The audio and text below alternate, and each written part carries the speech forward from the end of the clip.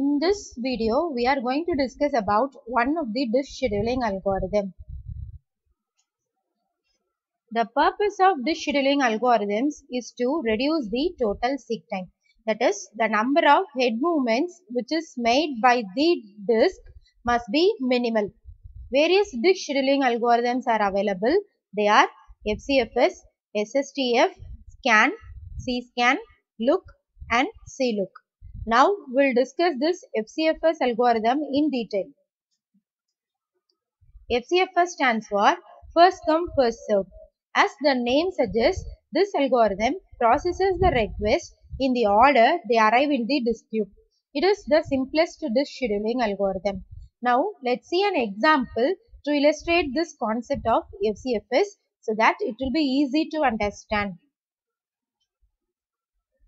Let us assume that there are 200 cylinders in a disk which are numbered from 0 to 199 and the disk head is initially at cylinder number 53 and we are having a set of requests 98, 183, 41, 122, 14, 124, 65 and 67. This means that we want to read the data from these cylinders we have to find the total number of head movements which is uh, which is a result of this computation while servicing these requests. So to compute this first we have to write down the order of head movements. As we know this is an FCFS algorithm. FCFS stands for first come first serve. Therefore we are going to process the request in the order they arrive in the disk queue. The initially the head is at 53. Therefore, we are going to uh, start from 53. Then we are going to process 98 and then we are going to process 183 and then 41 and then 122 and then 14 and then 124 and then 65 and then 67 right?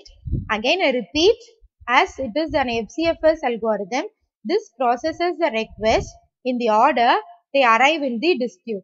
Therefore, starting from the disk head at 53, we are going to move to the cylinder number 98 and then to 183 and then to 41. Like this, we goes on up to 67. Now, we are going to illustrate this order of head movements also diagrammatically like this. Uh, for here, we are going to number from 0 to 199 as we have 200 cylinders numbered from 0 to 199 and the first request that we are going to process is 53 therefore we are going to start it from here and then from 53 we are going to move to 98 and from 98 we are going to move to 183 and then 183 to 41 and then to 122 and then 14 and then 124 and then 65 and then 67 right? Then we are going to calculate the total number of head movements incurred while servicing this request. Therefore we are going to find the distance covered between the subsequent requests. From 53 we move to 98 Therefore, we are going to find the absolute difference between these two to find out the distance. Therefore, absolute difference between 53 and 98 which turns around to be 45. Then, we are going to find the absolute difference between 98 and 183 which turns around to be 142. Like this, the absolute difference between 183 and 41 it is turns around to be 142 and then we are going to find the difference between 41 and 122 which turns around to be 81 like this we are going to find out the absolute difference between 122 and 14 and then 14 and 124 and then 124 and 65 and then 65 to 67 now, we'll all sum up all these uh, distances to get the total number of head movements, which turns around to be 632. Therefore, this is the answer of total number of head movements which is uh, the result which is being obtained by applying this FCFS algorithm, right? Now, we'll discuss uh, about the advantages and disadvantages of this algorithm.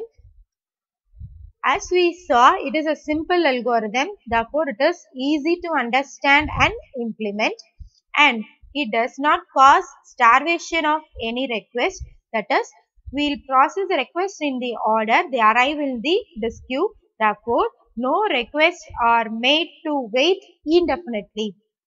There are some disadvantages of this algorithm too. It results in increased total seek time and as it results in increased total seek time, it is inefficient. Thank you.